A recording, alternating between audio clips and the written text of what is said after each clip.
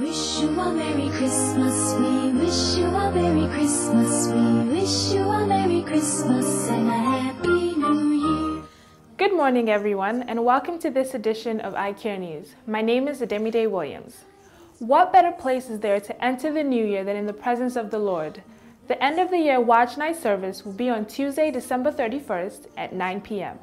Come and give thanks for God's goodness in 2013 and rejoice into a glorious 2014. The Affordable Health Care Act enrollment is still going on.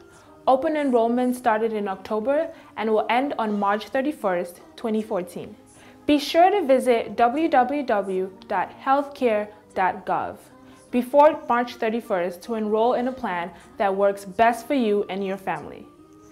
Faith Clinic and Digging Deep services will not hold this week due to the Christmas celebrations.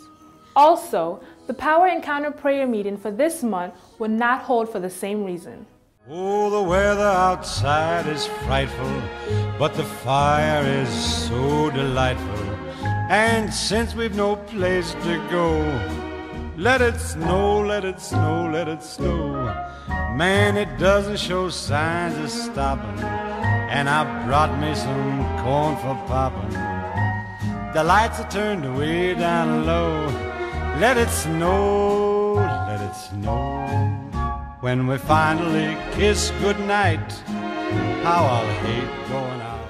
The Illinois African American Family Commission will be dispersing grants ranging from 5000 to 25000 for operating capital or startup expenses to qualified African American owned small businesses in the greater Chicago area and its suburbs.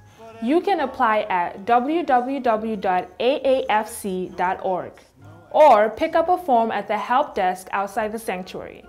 Applications must be submitted by midnight Wednesday, January 8th, 2014. Oh, come, oh, come, Emmanuel,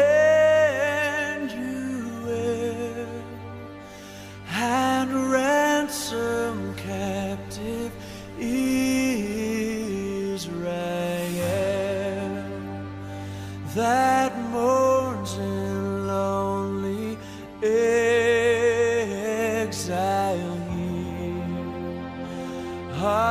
the Son of God appear.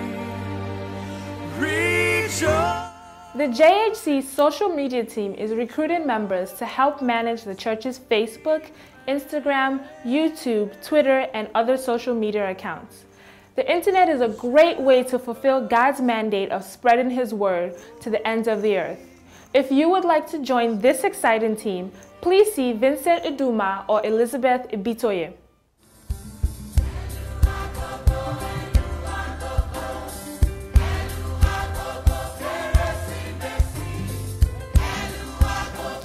On behalf of the children, I offer Christmas greetings to you all, all the way from Lagos, Nigeria. It's my hope and prayer that you will focus upon Christ as the essence of the season, as against the pomp and the pageantry of the season. It's my prayer that you will reflect on the message of the season. I pray that this special this season will be a special time and a great blessing to you and your loved ones. Merry Christmas.